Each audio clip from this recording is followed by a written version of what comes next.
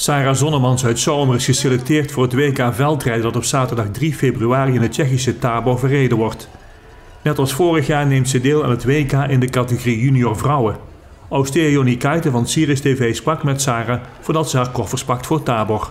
Sarah, jij mag eh, komend weekend meedoen aan het eh, WK veldrijden. Was het een verrassing voor jou? Uh, uiteindelijk niet meer. Ik wist al iets eerder. Maar uh, ja, natuurlijk wel spannend tot hij uiteindelijk wel hoort of je wel of niet mee mag. Ja, en dan hoor je dat je mee mag en was dan het eerste wat je denkt?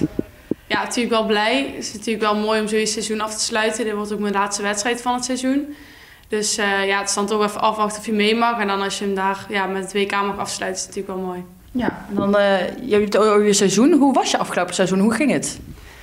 Het was uh, redelijk wisselvallig. In het begin ging het wel goed en toen uh, ja, heb ik een scheurtje in mijn pols gehad. Toen is het een hele tijd wat minder gegaan.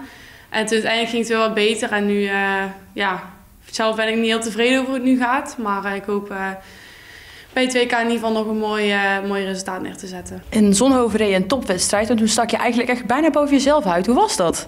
Ja, dat is natuurlijk wel, wel mooi, omdat ja, het gevoel daar natuurlijk super goed was. Ik ja, meteen mijn ketting eraf bij de start. En ehm, ja, ik begon ik meteen een inhaalrace en uiteindelijk werd ik in de sprint nog net derde dan.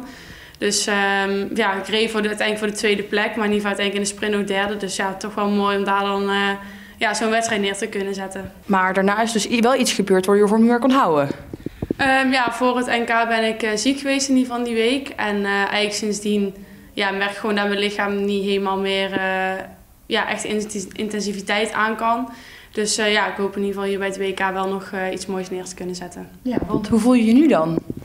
Uh, het gaat prima nu. Ik hoop nu gewoon goed te kunnen herstellen en dan gewoon fris naar het WK toe te gaan. Wat verwacht je dan nu van het WK, nu je zo conditioneel staat? Um, eigenlijk zijn mijn verwachtingen nu best wel laag.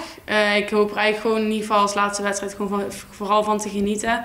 En ja, welke plek er dan bij hoort. Ik hoop in ieder geval gewoon tevreden te zijn over mijn wedstrijd. En dan ja, zie ik wel welke plek erbij hoort. Dit is nu het tweede WK wat je gaat rijden. Vorig jaar heb je ook al meegedaan. Hoe was dat vorig jaar? Ja, vorig jaar was gewoon heel erg vet. Natuurlijk eerste keer WK, heel de ervaring. Het was natuurlijk ook in Nederland. Zoveel familie was er en ook gewoon uh, ja, heel veel publiek. Dus ja, die atmosfeer was daar wel heel bijzonder. Ja. En uh, gaat, uh, komend weekend gaan jou, gaat jouw familie ook weer mee? Ja, het gezin gaat in ieder geval mee. Dus was het altijd wel fijn om hun erbij te hebben. En ja, ook wel fijn dat, ja, dat hun met de laatste wedstrijd en zeker dan ook met het WK ook gewoon mijn zus en mijn broertje erbij zijn. Die zijn natuurlijk ook niet uh, altijd bij. Dus ja, dat is ook wel leuk. Nou, dan gaan we even kijken naar de vorig jaar naar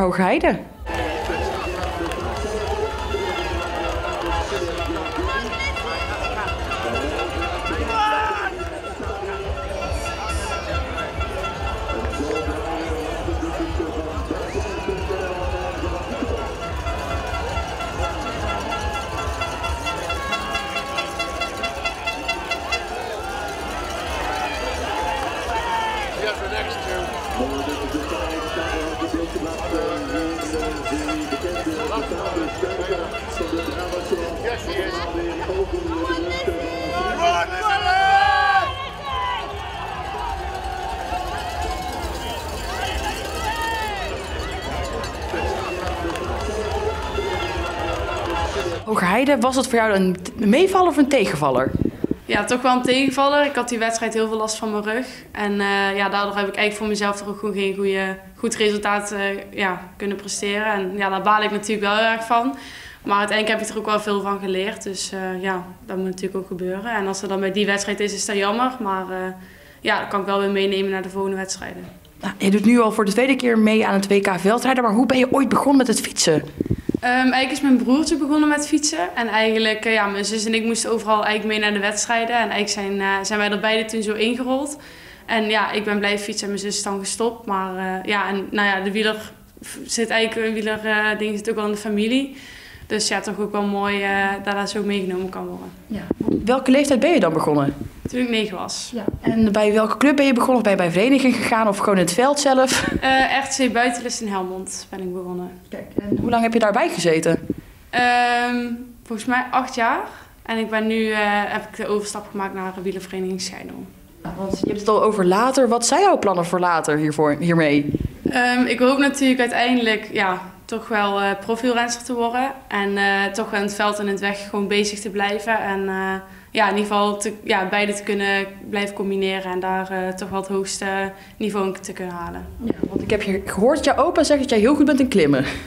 Ja, opa vindt altijd denk ik wel dat het goed gaat. En uh, ja, klimmen vind ik in ieder geval wel heel leuk om te doen. Dus uh, ja, dan zal hij misschien wel meteen opvatten als het heel goed gaat. Maar klimmen, ja, het, gaat me ook wel goed af. Maar of dat ik daar het beste in ben, ja, weet ik niet, moet ik nog even uitvinden. Maar uh, ik vind het in ieder geval wel heel leuk. Je hebt uh, de afgelopen tijd heel veel verschillende parcours gedaan. En zaterdag ben je in Tabor. Maar ben je daar al ooit eerder geweest? Nee, ik heb er zelf nog nooit eerder gefietst. Nee. Wat zijn jouw verwachtingen dan van die baan? Um, wat ik er nu in ieder geval van gehoord heb, is dat er gewoon heel snel bij gaat liggen. Um, nou, op zich vind ik dat op zich ook wel leuk. Ik, ja, ik weet verder nog niet precies hoe het parcours ligt, maar uh, ja, daar hebben we wel zin in. Ja, want wat zijn jouw lievelingssoorten parcours? Ja, toch wel een snel rondje. Ik vind modder ook wel heel erg leuk. Um, ja, ligt er dan een beetje aan welk parcours waar ik dan best uit de voeten kan. Maar in ieder geval snel rondje en daar wat modder erbij vind, ligt me wel goed. Zaterdag is het zover, maar ja, nu de hamvraag. Hoeveelste denk je dat je gaat worden? Um, ik, ja, ik verwacht er eigenlijk nu dus niet zo heel veel van. Dus ik denk dat ik er gewoon uh, naartoe ga met... Uh, ja, dat ik er gewoon vooral plezier in moet hebben en daar gewoon van moet gaan genieten. En dan uh, ja, zie ik vanzelf wel welke plek daarbij wordt. Zaterdag, Os, hoeveelste start je dan? Um, ik start rond de vijfde, zesde rij, denk ik. Dus uh, ja, best wel ver achteraan. Maar ik hoop in ieder geval een goede start te hebben. Waardoor ik toch wel met, uh, of in ieder geval redelijk vooraan uh, het veld in kan draaien. Ja, dus wij zien jou wel op televisie?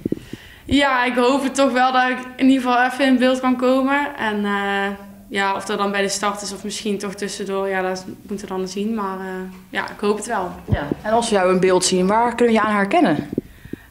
Um, een oranje pakje een vlecht. En de rugnummer weet ik nog niet, want we hebben daar nog geen uh, informatie over. Maar uh, ja, dat zijn toch wel de twee kenmerken, denk ik. Ja, en dan stel je bent op de tv, ga dan ook even zwaaien naar opa?